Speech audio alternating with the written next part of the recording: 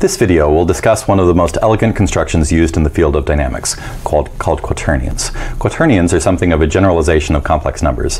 So let's start by uh, a brief review uh, of what we do with complex numbers. And again, they're uh, invented by Euler, um, and they start from the construction i squared is equal to negative 1. So once you accept that construction uh, and define a commutative algebra based on it, you can, for instance, multiply two complex numbers in the following way. So if you have q is equal to c plus si, and z is equal to a plus bi, and take z prime is equal to q times z, we just multiply together c plus si and a plus bi, treating i as just an ordinary algebraic variable. And then after we multiply them together, first outside, inside, last, then we take the i squared and replace it with negative 1 to get an expression like that. Now what Euler showed was that in the case that we take q is equal to e to the i phi, what we develop uh, if, you, if you write out the series is that the real part becomes cos phi and the imaginary part becomes i sine phi. And so in this case, if we have q is equal to e to the i phi, okay, cos phi plus i sine phi, we'll take c as being cos phi and s as being um, sine phi. And so that will be um, a notation um, that we'll use um, in this discussion quite frequently, c being cos phi and s being sine phi to simplify the notation. Okay, so in this case, when we have um, a, uh, an e to the i phi defining c and s, then the product of q times z simply corresponds to a rotation, a 2D rotation. And we can see that by writing z out as some vector, z vec. Uh, prime is a prime and b prime, and z vec is just AB. So we're going to write this out in a vector form, and the corresponding operation to what we're doing with this um, complex number product simply is zvec prime is equal to something times zvec, where that something is just a 2D rotation matrix. And so you multiply this together, you get exactly what we have there. Um, and so this is then quite interesting that we can achieve 2D rotations quite naturally in the complex plane. And 2D rotations are naturally commutative operations. So if we have some object, we do a 2D rotation by some angle alpha, we do another 2D rotation by some angle beta, then that's equivalent to doing a rotation by beta first and then a rotation by alpha. So order doesn't matter when doing a 2D rotation. So that's why it makes sense that q times z is the same as z times q when q and z are complex numbers. Okay, that's a starting point. And then what Hamilton tried to do, and it took a bit of effort, uh, was to figure out the correct generalization of complex numbers in order to consider how to do 3D rotations. And it was really a stroke of genius um, when he figured out how to do it. He was actually going for a walk in the countryside, um, and legend has it he carved it um, in the uh, in the Broom Bridge in Dublin, Ireland. So if you ever go to Ireland, uh, please go by and check it out and see if you can find that bridge. Send me an email and a picture. Um, and uh, so the relations that define all of quaternion arithmetic are simply i squared is equal to j squared is equal to k squared is equal to ijk is equal to negative 1, defining a non-commutative algebra. And uh, so essentially what we have is three, not one, but three distinct square roots of negative 1. Um, i is the square root of negative 1, j is the square root of negative 1, and k is the square root of negative 1. Um, and um, with a non-commutative algebra defined this way, we can then infer several properties. For instance, if we take this expression, put it in brackets, so i times j times k is equal to negative 1, multiply from the right by k, uh, then we're going to have i times j times k squared, well that's a negative 1, so we'll have minus ij on the left is equal to minus k on the right. And so uh, uh, cutting the minus signs out, what we get is ij is equal to k. And if you keep on going, you can get all of these other relationships listed here. And so when working with quaternions, um, we build up, and as, as implied by the prefix, they're a four-component vector. Instead of a two-component vector here with a real and imaginary part, now we're going to have a four-component vector with a real part and three imaginary parts. So for instance, P, the, qu the quaternion P, can be written out as P naught plus P1i plus P2j plus P3k. Um, and uh, another quaternion Q can be written out in terms of its four parts, Q naught plus Q1i plus Q2j plus Q3k. Then, if you take the product of this four component quaternion P with this other four component quaternion Q, multiply them together, you're going to get 16 components, four of which um, will, after you apply all of these identities, um, go into the real component R naught, four of which, after you apply these identities, will multiply I, four will multiply J, and four will multiply K. And so it can be shown that if you multiply together P and Q in this form, uh, then the four components that come together from to, to form R naught can be found by taking these four components times these four components in terms of a standard matrix vector product. So the first row times the first column gives R naught, the second row times this column gives R1, the third row times this column gives R2, and the fourth row times this column gives R3. So now might be a good time to pause this video and verify that you multiply together these two four component quaternions, you get 16 components, which is equivalent to this matrix vector product. Seriously, go ahead and stop the video and do that product, okay? Good. Okay, so now um, moving on, uh, we're going to sometimes find it convenient to rewrite a quaternion in terms of its real component plus its component in the three imaginary directions, which I'll denote with the vec symbol. So for instance, p we can write as p naught plus p vec, where p vec has components in the i direction, the j direction, the k direction. So this vec notation will be very special when discussing quaternions. We'll only use the vec on top uh, when we're referring to um, a, uh, a, component that just has um, elements in the i, j, and k directions, like that. Right? So using that notation, we can then think of the um, generalization of e to the i phi as e to the u vec phi, um, where u vec, again, is a three-component vector with components in the i, j, and k direction, as written out here. So e to the u vec phi becomes, that was developed by, uh, by, by, Hamilton when he developed quad, uh, uh, quaternions, becomes, if you, uh, if you multiply uh, all, all of this out and develop the appropriate series expansion and see how it converges, what you get is cos phi plus u vec times sine phi, where u vec again is u1i plus u2j plus u3k. So that's the generalization of the concept of, of e to the i phi. So now what we can do um, is uh, develop the rest of the um, mathematics um, surrounding um, quaternions. And then with that, we're going to be able to not just do 2D rotations as we could with complex numbers, but we'll actually be able to do 3D rotations and work up to Rodrigues's rotation formula, which is very rewarding. Well, all the math that you need is right here.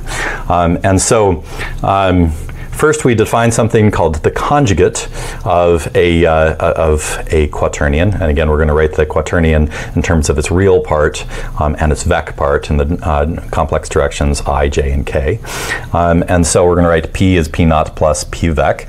Um, then the conjugate of p is defined as p star is just p naught minus p vec. And so the conjugate of a product is equal to the product of the conjugates. You'll recognize some of these notions as similar to what you had in linear algebra. The conjugate of the conjugate is just the original vector. To get to the real part of q naught, you just add q and q conjugate and divide by 2. And to get the vec part of q, you just add uh, subtract uh, q minus q star and divide by 2. Right? So those are um, convenient constructions. And then we define the norm of q as being the square root of q times q star uh, pause for a moment here. The, the, we're, we're taking products of quaternions here, just as we took products of complex numbers up here. Right? So normally in, in linear algebra, if I give you a vector and I said multiply this vector and that vector, you can't do it. You can take an inner product, multiplying the transpose of one vector times another, or an outer product, but you can't take a vector times a vector. It's not a defined operation. But it's uh, perfectly well defined um, in uh, complex arithmetic, treating i as an algebraic variable and, uh, and um, performing the arithmetic in a commutative uh, uh, operation. So QZ is going to be equal to ZQ. And we can easily um, do it, uh, multiply together two uh, uh, quaternions. Um, in uh, in uh, the quaternion arithmetic, and this is going to be a non-commutative um, algebra. So if we multiply together p times q, we'll get this. If we multiply together q times p, we're going to get something different. Um, and so Anyway, uh, the, the norm of a vector q is, is defined just like a vector norm, um, but q is this quaternion variable, and so q times q star square root, um, and so that's just, if we use the definition of, uh, of the conjugate up here, um, q times q star square root is just going to give us q naught squared plus q1 squared plus q2 squared plus q3 squared square root, uh, which is as you might have anticipated it would be. And so then we can define a unit quaternion as a quaternion such that the square root of the sum of the squares of all its components just equals to 1 um, in the uh, logical way. So any unit quaternion, so any quaternion that satisfies a relation the, uh, the, the, norm of q is equal to 1, may be written in the form q is equal to the u phi for some unit vector u vec norm is equal to 1. So u1 squared plus u2 squared plus u3 squared. Remember, u vec is a three-component vector. u1 squared plus u2 squared plus u3 squared square root is equal to 1. If we have that, um, we call it, then, then that's a, a, a, unit vector of length 3. And so a unit quaternion may always be written as q is equal to e to the u phi for a unit vector, where e to the u phi can be written out like that. So any unit quaternion uh, we can write like that. And so um, cos squared plus sine squared, um, and this thing squared of equal 1, cos squared plus sine squared is equal to 1. Um, so that will build up any unit quaternion. Okay, so now we can define the notion of an inverse. So we can take q times this thing that we'll call q inverse um, is equal to 1 and applying the above relationships, uh, it's seen that then this Q inverse thing is quite simply Q star over the norm squared of Q. Um, you can see that, for instance, just by taking this definition, multiplying it from the left by Q star. So Q star times Q is just equal to the norm of Q squared times Q inverse is equal to Q star divided by the norm of Q squared. You get that. All right, so now um, one final step, um, now that we have the notion of how to multiply together some p and q, we can also write it um, using dot products and cross products. And so I want you to go back to your vector calculus, take a peek at your definition of the dot product and the cross product, and verify that I did this correctly. So if we write out p in terms of its real part and its vec part, um, and q in terms of its real part and its vec part, um, and multiply those together, then um, we will get a bunch of terms, as we had here. We'll get 16 terms, and we can arrange them in this form. So please, again, pause the video and check this and make sure that I did that right. Okay, um, so now that we've confirmed that, um, then we're ready to jump in and do the big proof. The big proof uh, is to show that 3D rotations may be done with quaternions. So the theorem statement is that if we start with u vec um, as being um, a, uh, a, a, unit vector, so u1 squared plus u2 squared plus u3 squared is equal to 1, um, and so uvec is a unit vector, and q is a unit quaternion that we can build from uvec. So again, as we were discussing back here, we'll take q is equal to e to the uvec phi is equal to cos phi plus uvec sine phi. It's going to have four components that the sum of the squares of those four components is equal to 1, as we were discussing before. Now, if we start with any p, vec, um, so p vec is some vector in, uh, in, in R3, p1 in the i direction, p2 in the j direction, and p3 in the k direction in some right-handed coordinate system. Um, and we're going to define theta as being uh, 2 phi, where phi is the angle that's used to find q. Then it can be shown that p prime is equal to q times p sorry, p vec prime is equal to q times p vec times q star simply gives the rotation that comes out of Rodrigues's rotation formula. Remember, before we wrote it, uh, p vec is equal to r times p, uh, p vec, sorry, Before we wrote it as pvec prime is equal to r times pvec, where r was the rotation matrix. Now we're going to write it um, in terms of uh, quaternion arithmetic, and so we're going to interpret, for the purpose of doing the multiplications here, we're going to interpret p as a quaternion with zero real part, um, and we're going to multiply together the quaternion q, the vector p interpreted as a quaternion times the quaternion q star, and we're going to see out from this will pop exactly Rodrigues's rotation formula. And so I'm going to leave the arithmetic of this, um, which is a little bit of algebra, and it will come back to this expression um, that uh, uh, introduces cross products and dot products and some simplifications um, using this body of algebra. I want you to connect the dots and um, simplify this expression after you multiply it out, simplify it back down, and what you'll get is exactly Rodrigues's rotation formula. And you can find um, the intermediate algebra in the course notes, but I want you to, using your own pen, write this out every step of the way in order to connect the dots between uh, this quaternion product expression and Rodrigues's rotation formula. I think that's a very rewarding thing to do. So go ahead and pause the video and do that. Once you come uh, back from that, then we have established a very useful way of performing rotations using quaternion arithmetic. And so anytime I have a rotation to perform, I can just write it down as a quaternion, multiply three quaternions together, and I have my rotated uh, vector. If I start with some vector in R3, um, some vector in R3, do this quaternion multiplication, I'll get some rotation, which gives me some new vector in R3 that corresponds to that rotation.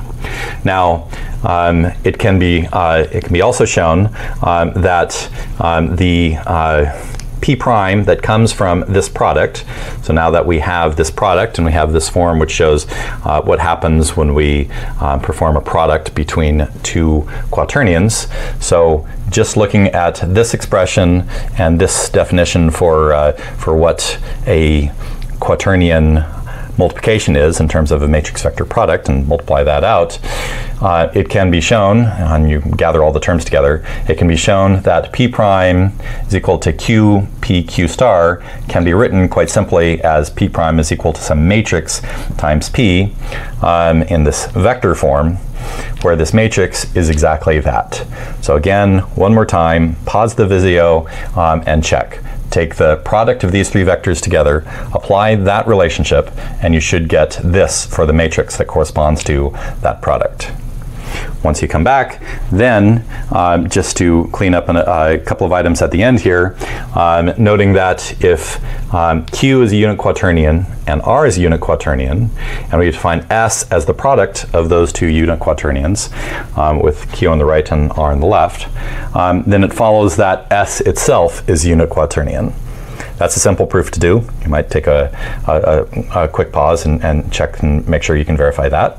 Um, and so finally then, if we think of one rotation performed uh, on P, performed as a pre-multiplication by Q and a post-multiplication by Q star to get pvec prime, and a second rotation of the resulting vector. Um, so we start with this rotation and then we take the result of that and do another rotation by some uh, unit quaternion R. Um, and so we pre and post multiply uh, pvec prime by r and r star to get pvec double prime. Then what we have is pvec double prime is just equal to s times the original p uh, times times s star. And so to, uh, to, to perform consecutive rotations, so if we first want to do a rotation, um, oh, uh, yes, that's right. Um, it's non-commutative algebra, so you have to be very careful about the order. So it was right the first time. So if you first want to um, rotate by Q and then rotate by R, and you want to say, okay, what's the ultimate effect of that? It's equivalent to rotating by S, where S is equal to RQ. So instead of applying Q and Q star to P and then applying R and R star to P prime, we can just calculate R times Q and apply S and S star to P, and we'll get to the same final location. So you can see that um, this quaternion um, formulation then gives us a very convenient way to represent each of a number of rotations um, and, uh, and pull them together. And we can interpret quaternion rotation um, in terms of a simple matrix, a rotation matrix R, uh, and the equivalence between the rotation matrix and the quaternion expression um, is given here. In the next video, what we're going to do is we're going to also give an understanding of a rotation matrix R in terms of quantities like pitch roll and yaw, so Euler rotation se sequences and Tait-Bryan rotation sequences, and um, begin to tie all of these um, uh, representations together and understand in some applications pitch roll and, ah, and yaw will be convenient and intuitive and, uh, and, and, useful, but in other uh, applications we'll see that um, that representation of rotation is inadequate and we need to uh, uh, come back to the quaternion representation. We'll discuss the details of that in the next video.